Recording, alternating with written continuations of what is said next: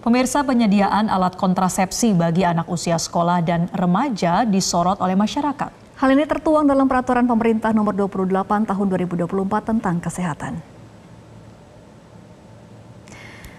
Jadi pemirsa kalau kita melihat di PP nomor 28 tahun 2024 pasal 103 ayat 1 berbunyi upaya kesehatan sistem reproduksi usia sekolah dan remaja sebagaimana dimaksud dalam pasal 101 ayat 1 huruf B paling sedikit berupa pemberian komunikasi, informasi dan edukasi serta pelayanan kesehatan reproduksi. Hal ini diperjelas dalam pasal 103 ayat 4 yang berbunyi pelayanan kesehatan reproduksi sebagaimana dimaksud pada ayat 1 paling sedikit meliputi deteksi dini penyakit atau screening, pengobatan, rehabilitasi, konseling, dan penyediaan alat kontrasepsi.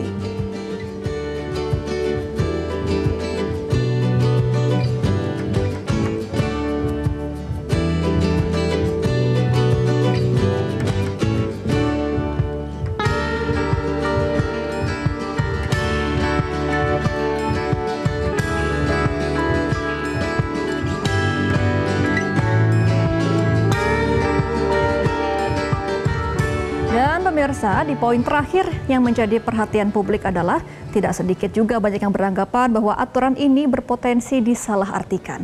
Misalnya muncul anggapan PP ini memperbolehkan hubungan seksual pada anak usia sekolah dan remaja.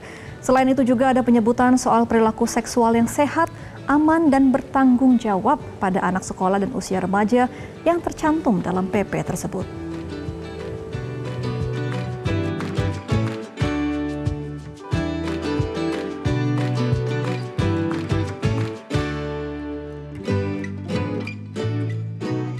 Jelajahi cara baru mendapatkan informasi. Download Metro TV Extend sekarang.